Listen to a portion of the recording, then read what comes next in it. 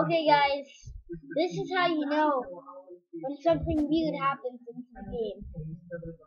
I just collected a land on the sale tycoon. Things start popping up, and when I go to upgrade, and I go to upgrade my parking lot, and I go all the way down. This is how you know the server's glitched.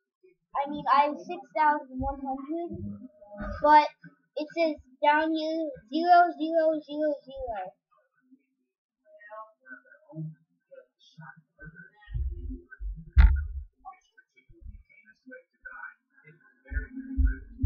Okay guys, I'm back. Um, and I click purchase, and says buy it for zero dollars, and I click yes.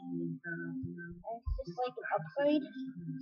That's how you, this is how you know server is glitched. I'm going to have to start a new tycoon because of this. This glitch is getting really bad. When you just think of it, go ahead and buy stuff. This is how you know server is glitched, hacked, or anything.